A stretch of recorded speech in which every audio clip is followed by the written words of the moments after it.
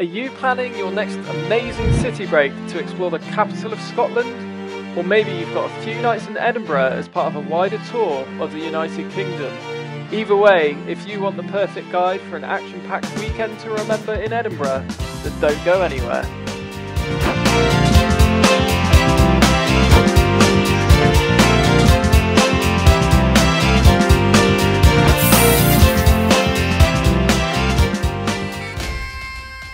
Welcome to Edinburgh, the vibrant and historic capital of Scotland.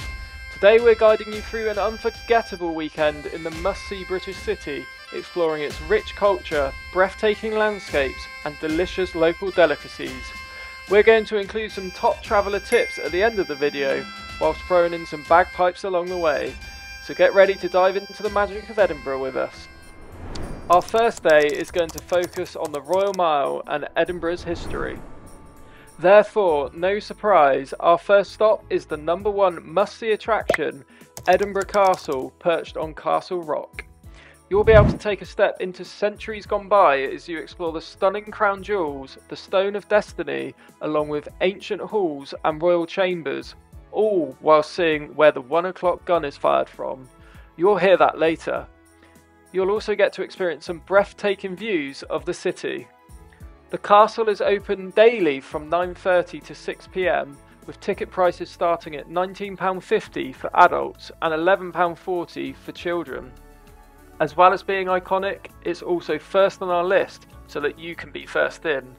Make sure you book your tickets online in advance for the 9.30 slot to maximise your sightseeing time and avoid queuing.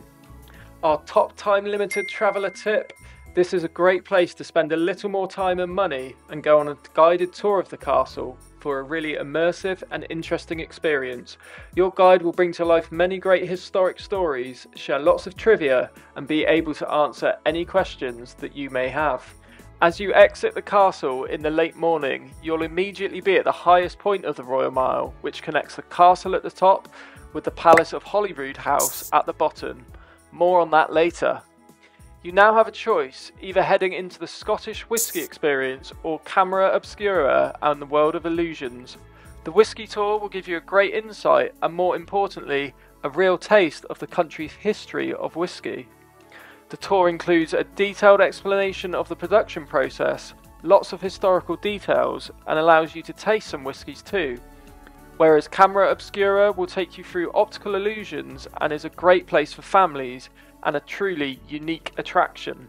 Discover over 100 optical illusions and mind bending interactive exhibits. We would say that the Whisky Tour is more of a uniquely Scottish experience and certainly the right choice for anyone who likes whisky or would like an introduction to it, whereas Camera Obscura is the better choice for families with children and for some fun filled photo opportunities. Next up, you'll come to St Giles Cathedral, a stunning example of Gothic architecture. The cathedral's history dates back to the 12th century, and its interior is a treasure trove of stained glass windows, historic artefacts, and ornate chapels. A must to pop in and experience along your route down the mile. It's free to enter, but you can make a donation if you wish to. And it's at this point you'll be getting peckish for lunch. There's a number of lovely cafes within a few minutes stroll of the cathedral. To name a few, we love the Edinburgh Larder, Cafe Edinburgh, and the Haggis Box. Have a rest and refuel ahead of this afternoon's adventures.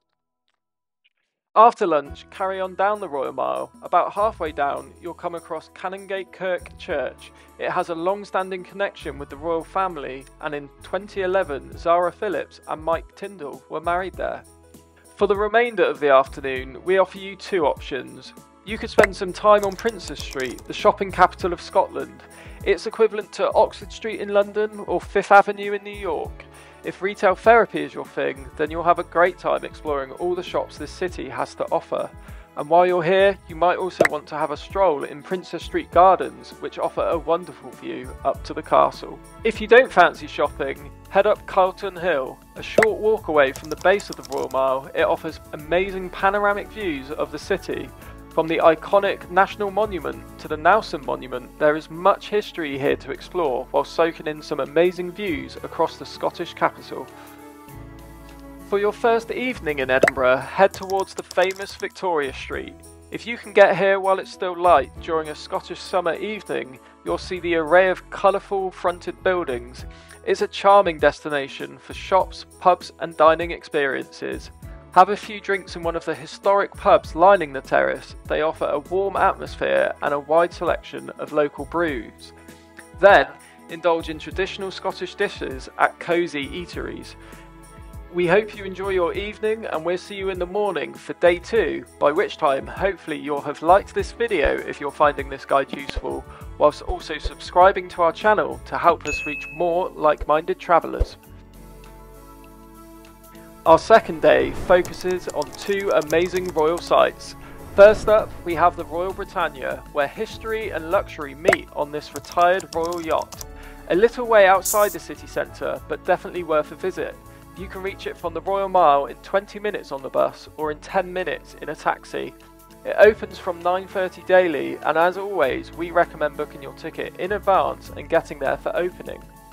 Now step aboard this floating palace and get a glimpse into the life of royalty firsthand.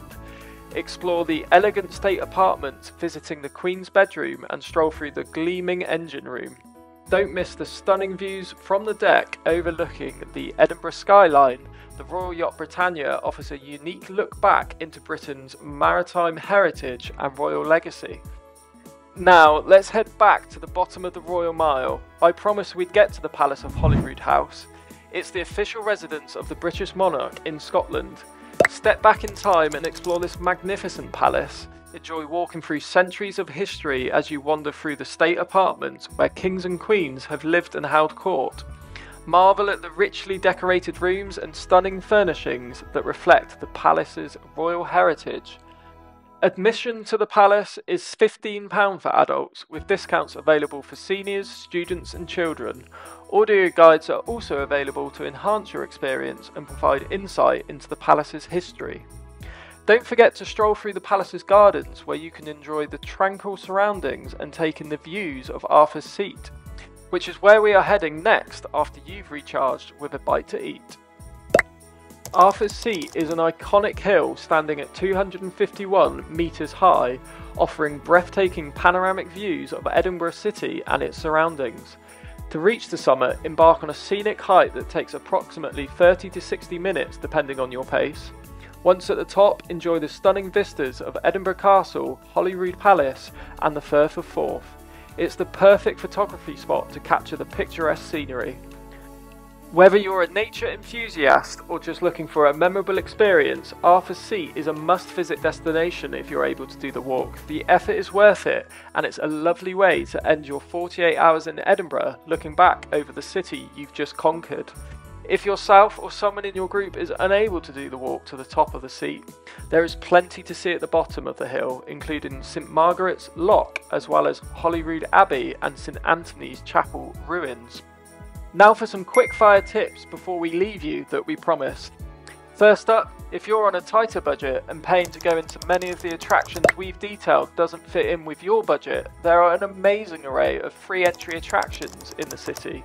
For history and culture, there is the National Museum of Scotland, the Writers' Museum, and free guided tours of the Scottish Parliament. For outdoorsy attractions, if you're lucky enough to get some sunny Scottish weather, we'd recommend the Botanic Gardens and Princes Street Gardens. There are also lots of free walking tours to join, although it is customary to tip if you're happy with your tour. Second, if several of the paid attractions are definitely on your list, a good way to save some money could be to buy an Edinburgh Royal Attractions ticket. This includes entry to Edinburgh Castle, the Royal Yacht Britannia, Palace of Holyrood House, as well as unlimited travel on three of Edinburgh's hop on and hop off bus tours. Third up, traditional Scottish foods to look out for. Cullen skink, haggis, black pudding, and battered sausages, to name a few, or even a battered Mars bar if you're feeling particularly adventurous and need some extra calories to fuel your trip at Arthur's Seat. And our last tip, to avoid the mass crowds, make sure to avoid August when the Edinburgh Fringe Festival and the Royal Edinburgh Military Tattoo take place. May, June and September are nice months to consider outside of UK school holiday season, but still with a chance of some milder weather. Alternatively, if you want to embrace and enjoy the festival, it is an amazing takeover of the beautiful city with such an astonishing and wide ranging selection of shows. There really is something for everyone from comedy to music to circus, from local street performers to world famous celebrities. It is the largest performing arts festival in the world, and if you are planning to go, we strongly recommend booking your accommodation well in advance. And there you have it we hope you found this guide useful on how to make the most of your weekend in Edinburgh. If you'd like an alternative guide to another big city, then check out the next video on screen for an immediate comparison, ensuring you make the most of your next weekend exploring. Until next time, happy travels.